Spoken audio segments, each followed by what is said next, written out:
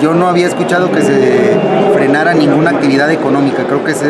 eh, importante mandar la señal. hace como 3 o 4 años mencionó que sí se frenarían estos tipos de negocios. No tengo registro yo de eso. Al contrario, lo que queremos en Zacatecas es que cualquier negocio que se quiera iniciar o que pueda crecer cuente con las facilidades por parte del gobierno del no Estado. No importa que le afecte al comercio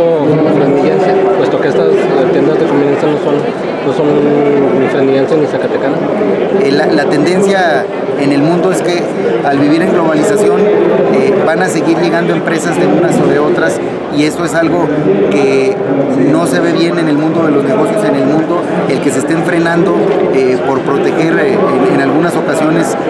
a ciertos sectores, lo que verdaderamente debe estar en el centro de la discusión es cómo beneficiar a los consumidores. Pero no protegerán pues a los, a los comercios de que son, están muy lastimados ahorita en estos momentos, los comercios están ya este, no están cómodos con los modos de operar de, Se tienen programas de apoyo para comercios, está en las próximas semanas aquí en el municipio de Fresnillo eh, se anunciará el programa para otras casi 100 tienditas Sumar que se estarán apoyando, además de otros esquemas donde se les estará eh, facilitando nuevas tecnologías, tabletas electrónicas que les permitan ofrecer servicios que a la fecha no existen, pero no podemos detener eh, la creación de empleos, no podemos detener Creando la llegada de nuevas inversiones. Creando Así sean dos o tres, la mayoría de los empleos en el mundo